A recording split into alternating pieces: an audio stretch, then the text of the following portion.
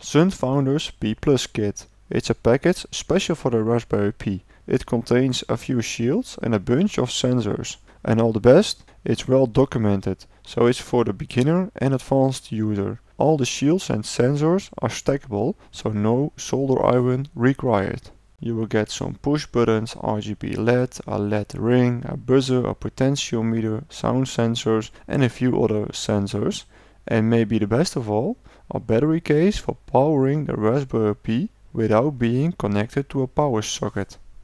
Instructions from A to Z in the user manual. First we're gonna build the P+, and step 2 is to install the P+, software. Building the P-Tower will take a few minutes, but I'm a slow guy, so let's speed up the video.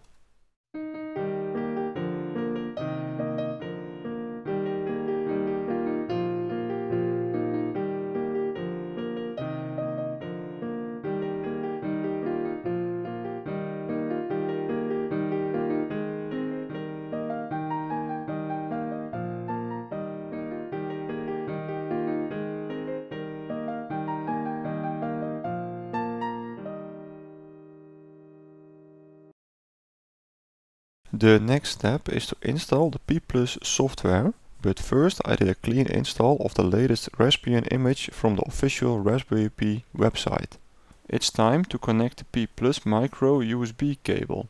I'm also using a network cable to access my Raspberry Pi over my local network. I don't have to write batteries, so I'm using a normal external power supply.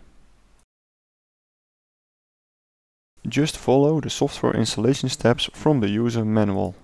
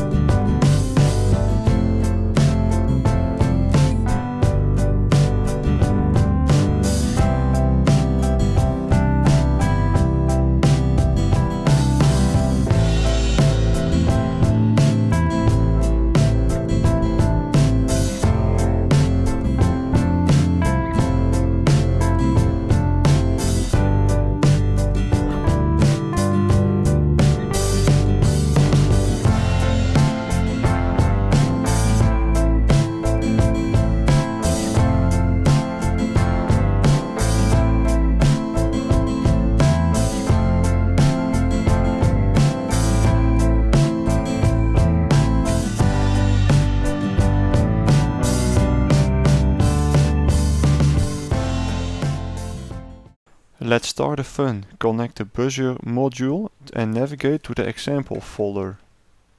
Start the plus buzzer Python script. Do you recognize the sound? You should be if you are 20 years or older.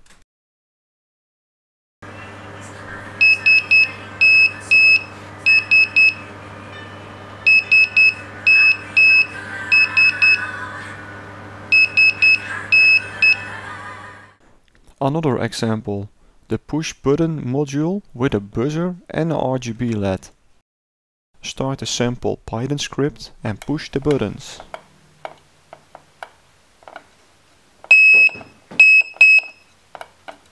The last example is the LCD screen. The Pi Plus package is fun and well documented.